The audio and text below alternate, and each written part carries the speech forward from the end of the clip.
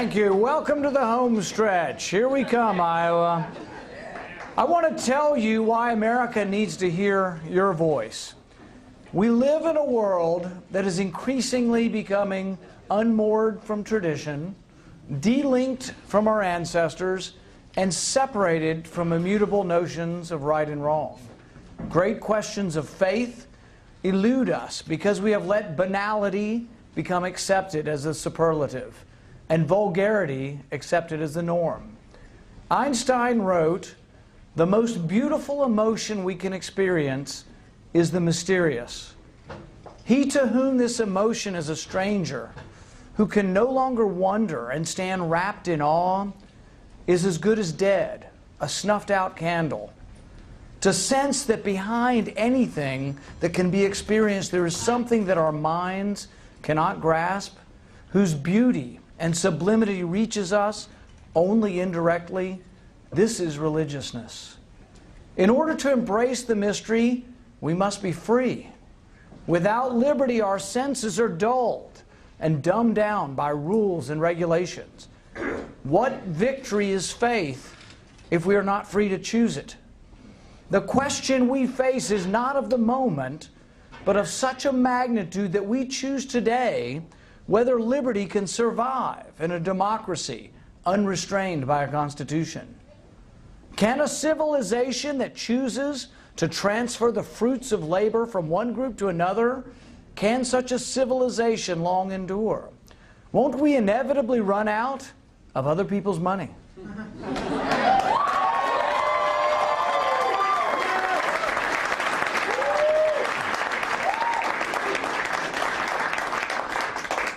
The American experiment with liberty is not totally won. Today, tomorrow, and the day after, we must fight to restrain Big Brother. Will you stand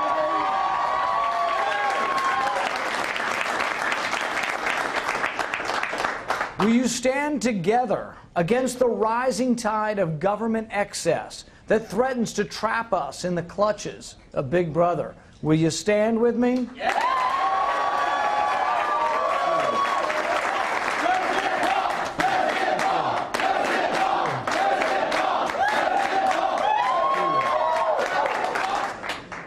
Liberty is under assault like never before. In Washington and on the campaign trail, Republicans and Democrats alike call out for bigger government. Only a president who understands the corrupting influence of big government can stop it. On the right, the call is for enlarging the military state. On the left, the call is for enlarging the welfare state. And the dirty little secret, the dirty little secret in Washington is that the right and the left always get what they want more spending and you, you get stuck with the bill. The loudest voices in Washington for more spending are actually right now coming from Republicans. Recently, Cruz and Rubio they put forward an amendment to increase military spending $200 billion.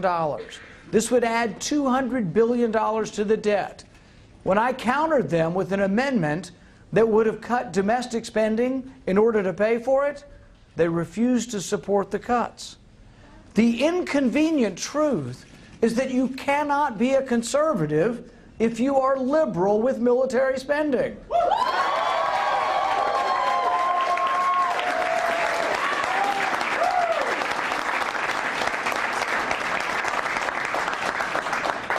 We do not become a stronger, or a safer nation if we borrow from China to inflate our military budget.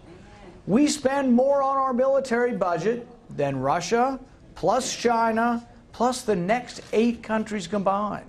There's waste everywhere.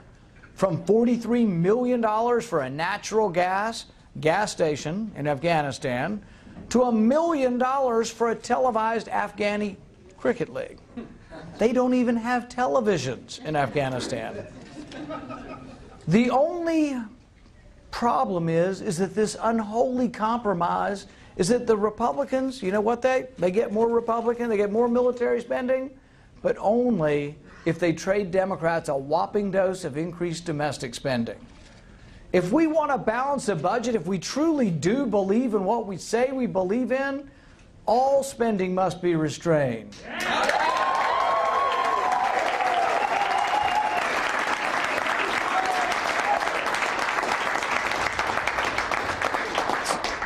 Republican says they're for balancing the budget, but nobody ever does it. I've actually introduced three budgets that balance. I've been able to do it by actually cutting spending across the board. The National Taxpayers Union has recognized this. They've named me the most frugal lawmaker in Washington because I'm willing to look for waste everywhere across the board. Right? Right and left spend too much money, but they also are carelessly infringing on our civil liberties. Both parties are contributing to an assault on your Bill of Rights. The left attacks your Second Amendment, your right to bear arms. The right attacks your Fourth Amendment, your right to be left alone. I'm the only candidate that stands for the entire Bill of Rights.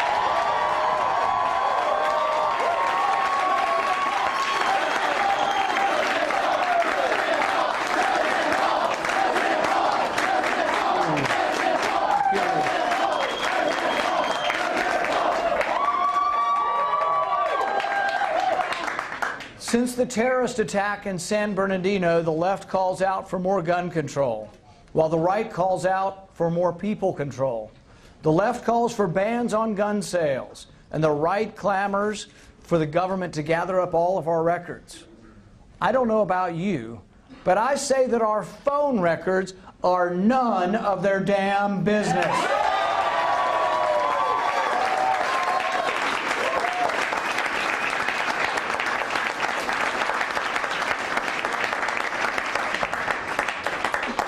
They claim we can't be safe without letting the government inspect everything, collect all of our records.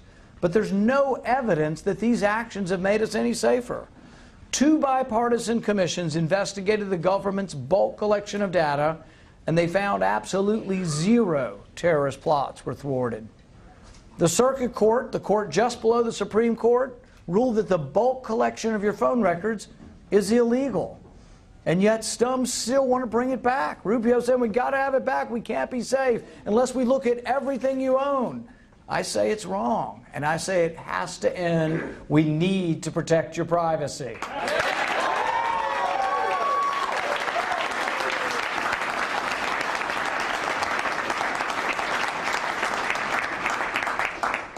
Now, Cruz, he claimed he was with us on reforming the NSA. But I think he talks out of both sides of his mouth. Did you hear his explanation in the debate? He says he voted for the, the bill to reform the NSA because he wants to allow the government to collect 100% of your cell phone records. If his goal is to collect 100% of your cell phone records, he greatly misunderstands the liberty movement.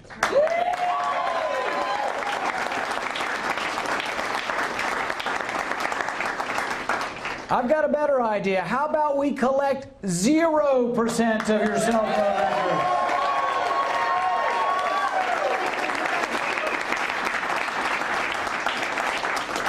When I am president, we will once again respect the Fourth Amendment with as much vigor as we defend the Second Amendment. Amen. When I am president, we will once again defend the entire Bill of Rights from top to bottom.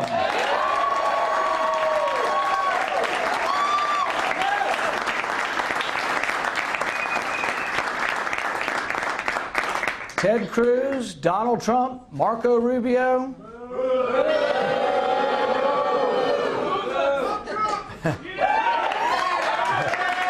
They all tell you that they want to carpet bomb the Middle East. Cruz tells you he wants to make the sand glow. Trump says the problem is we haven't been willing enough to use our nuclear weapons. I'm the only candidate that asks Will indiscriminate bombing of civilians create more terrorists than it actually kills?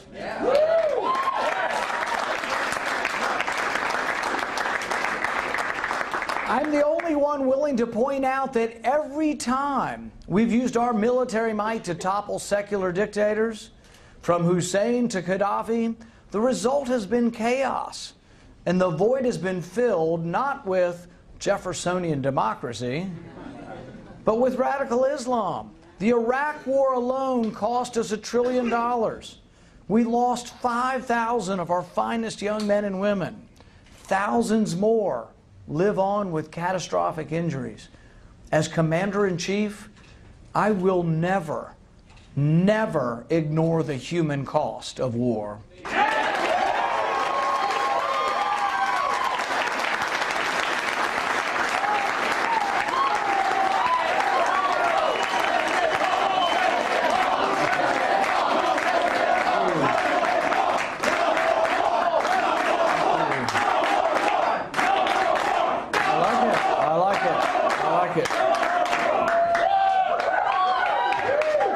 The other candidates for you more of the same macho rhetoric, fear mongering, and perpetual war. Rubio says we should shun Putin. Kasich says we should punch Russia in the nose, whatever that means. Christie says he's ready to shoot down Russian planes currently flying over Syria and Iraq. And yet no one asked what next. Alone on the stage, I call for a reasonable, a realist foreign policy where we stand strong enough to deter any attack, but not eager to start World War III. Yeah.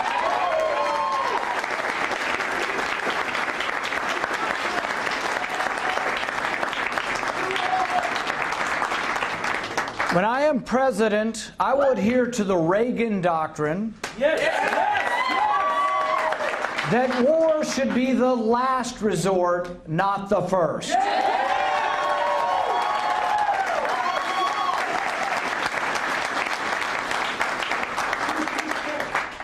And when I am president, we will only fight wars that are constitutionally declared by Congress.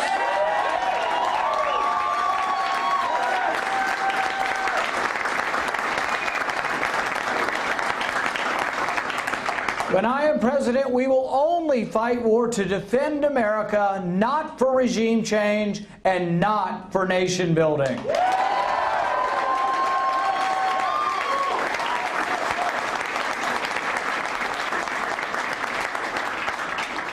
Now, one candidate in particular wants you to give him power. He tells you he's so rich, he must be smart. If you give him power, he will fix America. But you know, there's another tradition in America a tradition that believes that power corrupts. And that our goal should not be to gain power, but to contain power and to limit presidential power.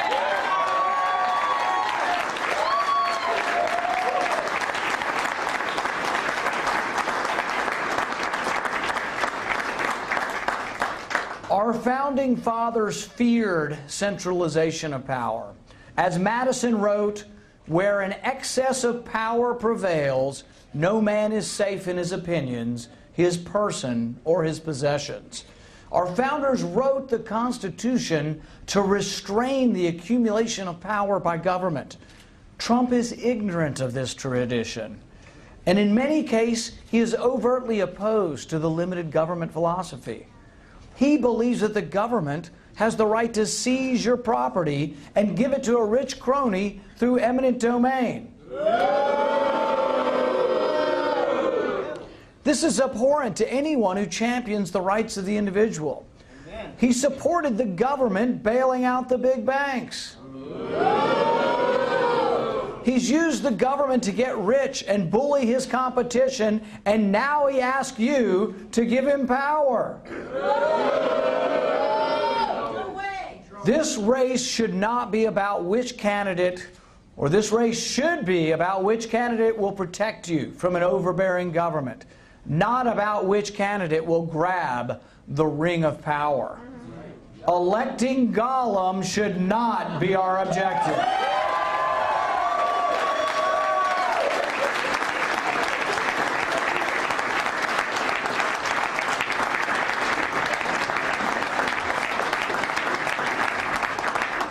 I'm the only one in this race who doesn't want power or dominion over you. I want to set you free. I want to leave you alone. And I want a government so small you can barely see it.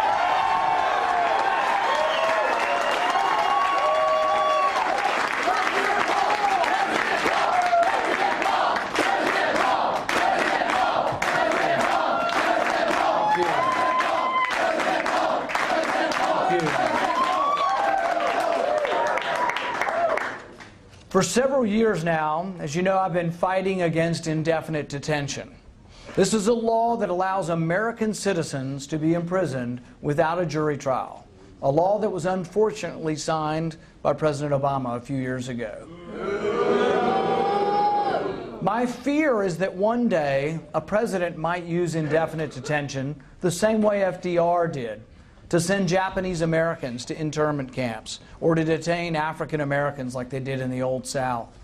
Power corrupts, as we have seen with an out of control IRS using its power to harass and intimidate conservatives for their political beliefs.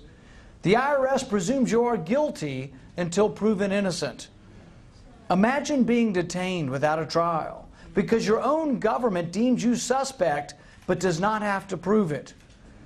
When I think of the terrible possibilities of indefinite detention, I'm reminded of a scene from To Kill a Mockingbird when Atticus stares down the vigilante mob that has come to lynch Tom Robinson. Luckily, Scout comes to the rescue, as she always does. She recognizes the leader of the mob as the father of a boy from her class. I go to school with your son Walter, she says. He's in my grade and he does right well. I beat him up once, but he was real nice about it. Tell him hey for me, won't you? The little girl broke the angry mood of the mob by personalizing it. Scout found the inner humanity that exists even in a mob hell bent on violence. When there is a mob intent on indiscriminate government searches, searches, when there is a mob intent on detention without trial, then someone must stand and shout down that mob. As president, I will not only shout down the mob, I will end indefinite detention once and for all.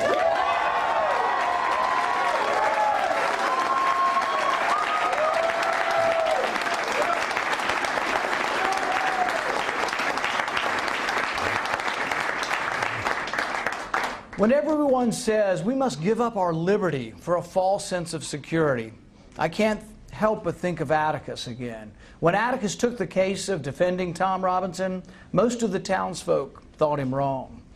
In Washington, that sentiment is often true.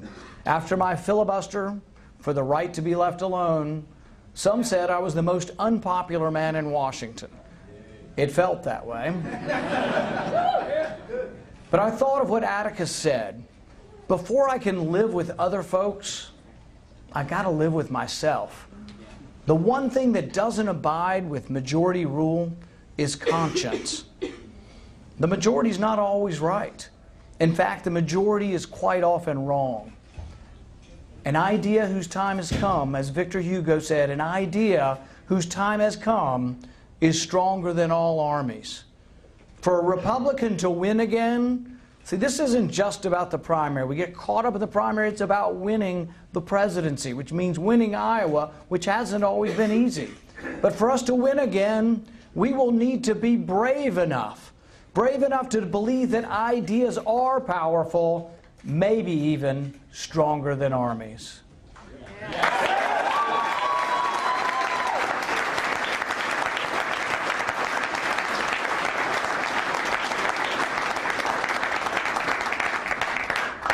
To win, we will need to be a bigger, better, bolder party. We need to welcome people of all walks of life black, white, brown, with tattoos, without tattoos, with earrings, without earrings, in overalls and in suits.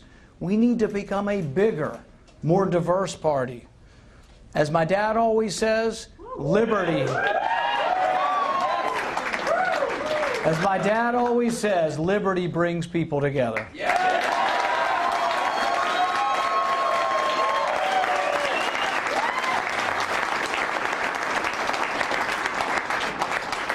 It's the common desire to be left alone that binds us all as unique individuals. After all, big government hurts people from all walks of life, rich and poor.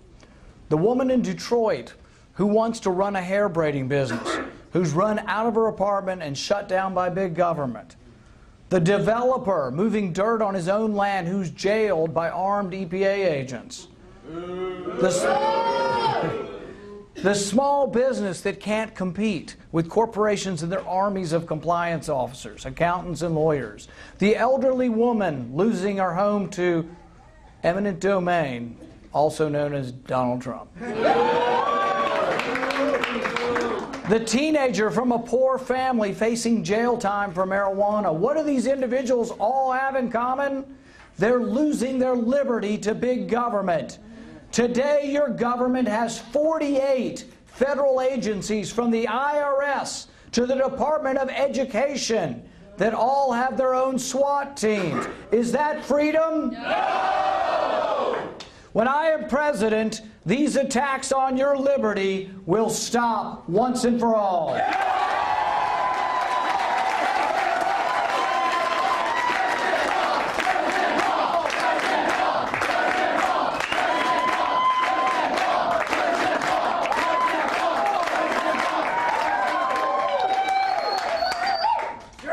The GOP has been the party of emancipation.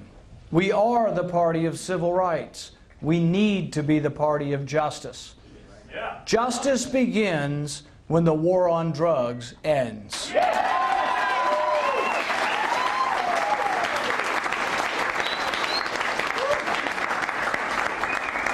A generation of young black men have been incarcerated and permanently lost the privilege of voting and the opportunity of work. The war on drugs has disproportionately incarcerated those who live in poverty in our cities.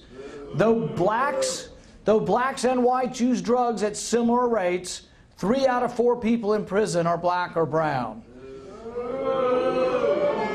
We must begin to treat addiction as a health problem, not an incarceration problem.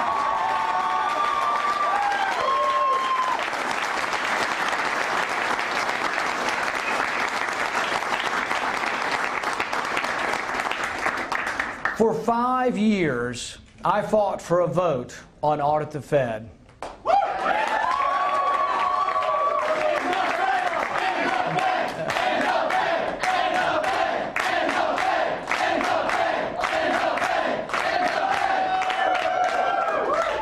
When I finally got the vote, Ted Cruz was nowhere to be found.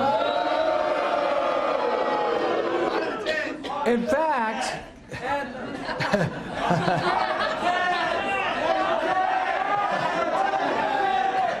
In fact, Ted was the only Republican to miss the vote.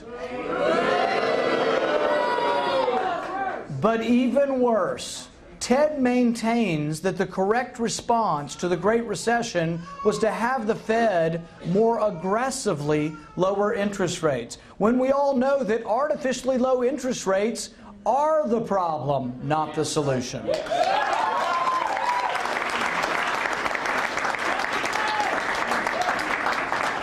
When I am president, the Federal Reserve will learn that their days of unlimited power are over.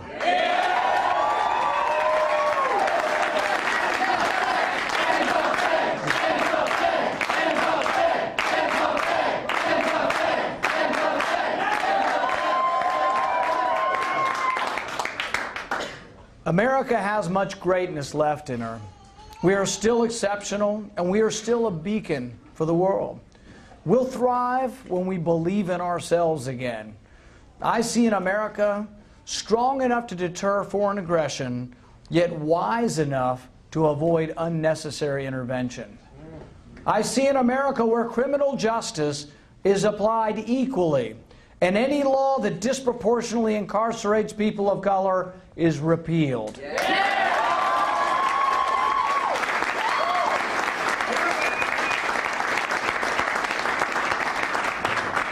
I see an America with a restrained IRS that cannot target and harass American citizens for their political or religious beliefs.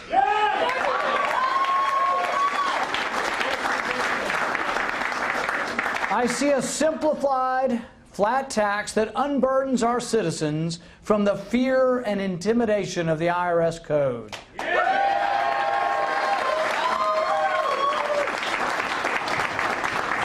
I would eliminate the entire tax code, the IRS, and unleash the engine of capitalism to create jobs and opportunity like never before.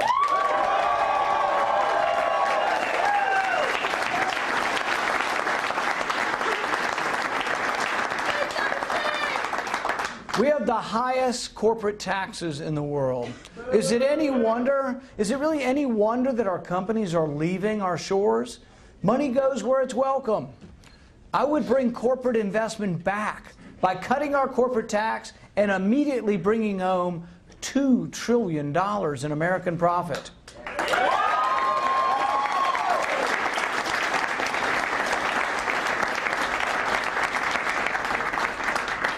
I see our big cities. I see our big cities once again shining and beckoning with creativity and ingenuity, with American companies offering American jobs.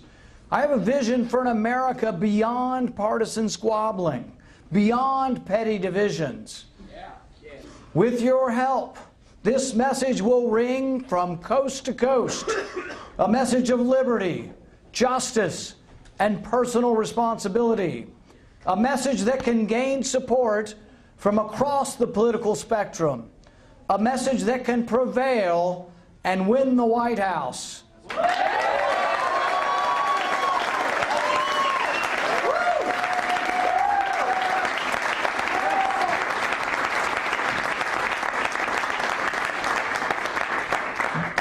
The journey to take back America will not be easy. It will not be without obstacles. But together, we can do what others say is not possible. Stand with me now as together we seek a new vision for America. I ask for your vote today for the presidency of the United States. Thank you.